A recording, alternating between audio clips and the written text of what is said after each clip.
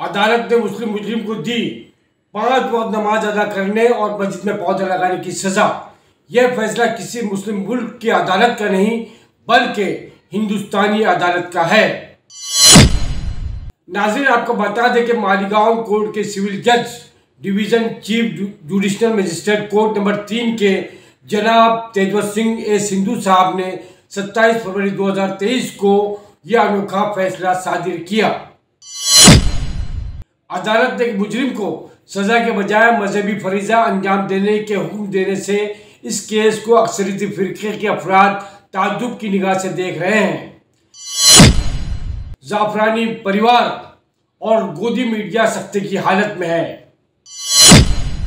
जमीर जाग तो जाता है, अगर ज़िंदा हो, इकबाल कभी गुना से पहले तो कभी गुना के बाद।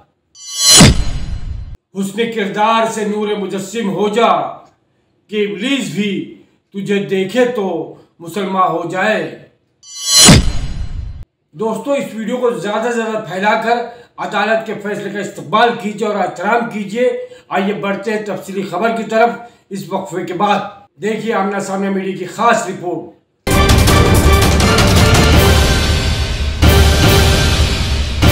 महाराष्ट्र के नासिक ज़िले के मालीगांव की एक अदालत ने सड़क हादसे के तनाजे के एक मुस्लिम मुजरिम को दिन में पाँच मरतबा नमाज़ पढ़ने और रोज़ाना दो पौधे लगाने का हुक्म दिया। काबिल ज़िक्र है कि इसने जो जुर्म किया था, उसकी सजा एक साल कैद थी।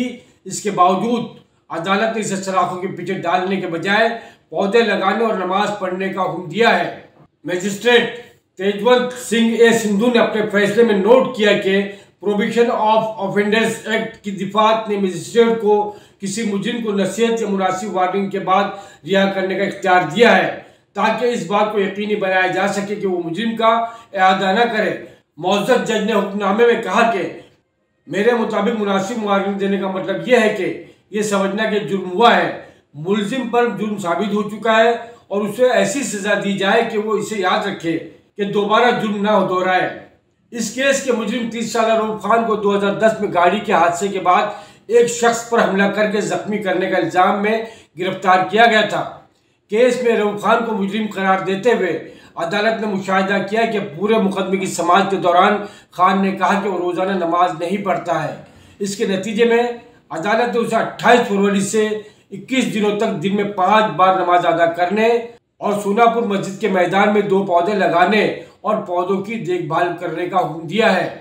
अदालत ने अपने हुक्म में यह भी कहा है कि चूँकि ये जुर्म सोनापुरा मस्जिद के आते के करीब हुआ था, इसलिए खान के लिए वहाँ दरख्त लगाना मुनासिब होगा।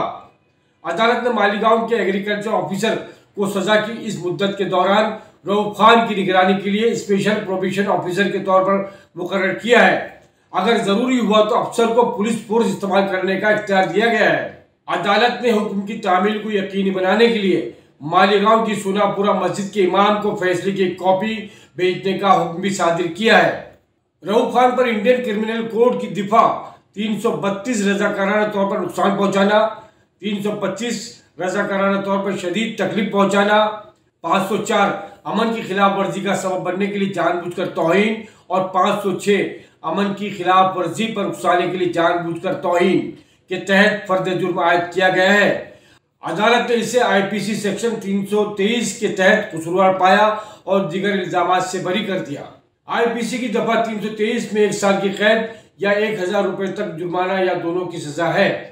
नाजिन काबिल ज़िक्र बात यह है कि यह अपनी नौयत का मालिकान कोर्ट में पहला फैसला है। इससे पहले भी इसी तरह के जज बंसाली साहब ने पाँच सौ रुपये जुर्माने की रकम आज़ाद नगर यतीम खाने में जमा करवाने का हुक्म सादिर किया था। श्री सिंधु साहब बहुत सख्त कायदे के माने जाते हैं। इस तरह के फैसले से मुलजिम में सुधार हो सकता है। दोस्तों, आपको ये भी बता दें कि मालीगांव की अदालत के इस फैसले से मुजरिम को सजा के बजाय मजहबी फ़राइज अंजाम देने का हुक्म देने से इस केस को अक्सरीती फ़िरके के अफराद ताजुब की नज़र से देख रहे हैं। बिलखसूस जाफरानी परिवार और गोदी मीडिया सख्ते की हालत में है। ये थी आमना सामा मीडिया की खास रिपोर्ट। जय हिंद, जय महाराष्ट्र। अल्लाह हाफिज़।